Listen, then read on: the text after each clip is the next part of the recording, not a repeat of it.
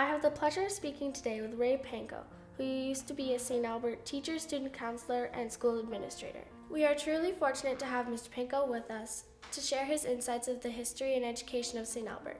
Welcome and thank you for joining us. It's a pleasure, Danielle. I'm interested in learning about what education was like in St. Albert. What did your classroom look like? Well, the classrooms uh, looked not appreciably different from what they are today. I mean, we had a space like we have, like we're sitting in now, and uh, we would have rows of desks, and the students would sit in their desks, and that would generally be the, uh, the space. There was very little moving around. Um, uh, if with permission, students would go to, and I emphasize with permission, students would be able to go and speak to another student, but other than that, they would sit in their desk and do their work. Approximately how many people were in one classroom? Well, in my very first um, uh, single grade classroom, I had 38 grade 8 students. After that, it varied. Uh, it went as low as perhaps uh, 25 or 22, and then somewhere in, in the low 30s. But uh, that 38 was the highest number I ever had. Was there more than one grade level in the same room? For me, yes. In my very first uh, assignment, I was in Alcomdale, which is northwest of St. Albert, and I had grades 7, 8, and 9 in one classroom. Now that was a challenge, but it, it was all right. How would you manage to keep everyone on task? In the multiple grade classroom, it was actually quite simple.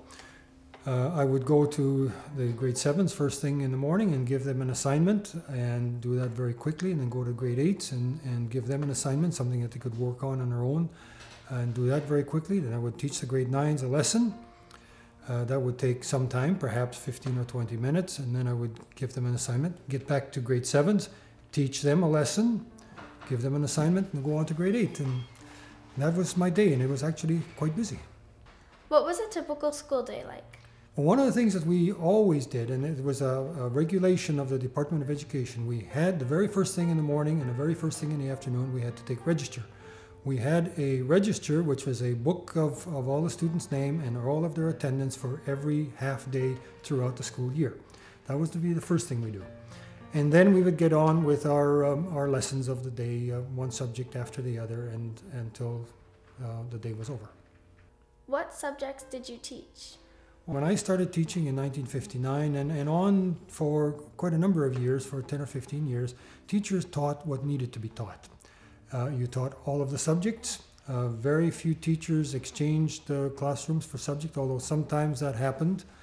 Um, my uh, specialty that, that I was educated in was, was actually science and also the fine arts, but that was simply one of the subjects throughout the day. So I taught mathematics, uh, language, uh, social studies, music at one point, and so on.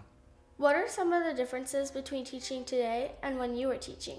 One of the things that was different back then, of course, today uh, teachers uh, go for a four year Bachelor of Education degree before they can even begin teaching.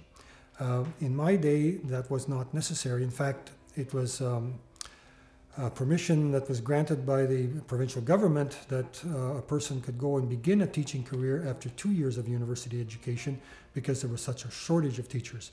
And many teachers used to do that. They would go into the field of education after two years of, educa- of, of uh, university education and then uh, complete their, their Bachelor of Education degree by evening classes and summer school. The equipment is different. Uh, for instance, I, I uh, carry around a Blackberry, and I'm sure that many students have smartphones with them. And so all that I had to deal with was um, perhaps student passing a, a, written note from one student to the other. Today, I'm sure the teachers have to deal with uh, the students texting from one classroom to the other, or perhaps something uh, outside of the classroom. Uh, so equipment is different. Uh, computers didn't begin to uh, enter the, the, uh, the, schools until the mid 1970s or the late 1970s. And even then, they were kind of an oddity and they were a subject to be studied and not um, a piece of equipment to be used. Uh, our equipment was things like um, um, film projectors, um, where we could show 16 millimeter films, slide projectors, film strip projectors, those kinds of things, record players. What grades did your school go up to? The one I attended, uh, went from grade 1 to grade 12, and in the schools that I taught, uh, they ranged from uh, grade 1 through to grade 11 until um, uh, grades um, 1 to 7. What percentage of the students would get their high school diploma? Well, of course, over my career that has varied. Um, when I went to school, I would expect that perhaps um, out of a class of about 25 that started with me in grade one, perhaps um, seven or eight would have graduated from grade 12. Um, and the percentage uh, would have been about the same when I began teaching, but of course, when I ended my career in, in 1993, um, a much larger percentage of students than would have finished grade 12.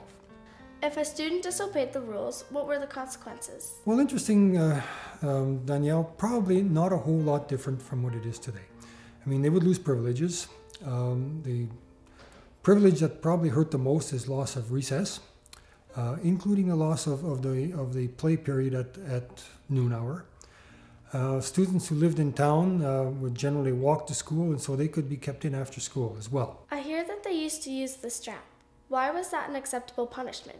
Well, the strap certainly was available in the school, and it was used on occasion, and I, and I have to emphasize on occasion.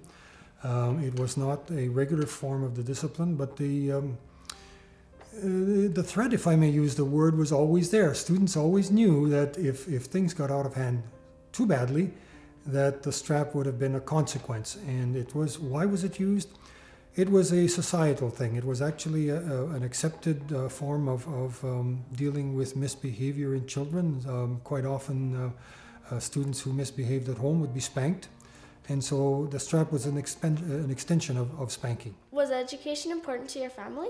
As long as I can remember, uh, my parents used to uh, uh, extol the virtues of education and in fact that I must get an education and must complete school. And, and you must remember that uh, growing up in, in the 1950s, um, jobs were plentiful, the economy was booming, um, oil had just been discovered, the uh, war was just over, so there were plenty of jobs. Uh, students could leave at the age of 15, and that was allowable in those days, could leave at the age of 15 and get a job in construction or in the oil field and, and make tons of money. And uh, so to choose an education was a, a bit unusual, actually. Was education important to society in general? Society in general, we're beginning to um, understand the values of an education. However, many individual students, uh, individual young people, as they do today, have a mind of their own. And uh, they would decide to simply leave school and, and get a job. And uh, that was life. In what ways did the education you receive help you pursue your career? Well, of course, I couldn't have gone to the university without uh, having finished my grade 12, and so that, uh, certainly uh, was a factor there. Finished my grade 12 and then went on to the university and got my teacher education, and um, it, it's a part and parcel of my career. Do you think that you'd be a different person today if you attended one of our schools? Different person, Danielle? I, I don't think so. Uh, would I know different things? Would I be interested in different things? Probably.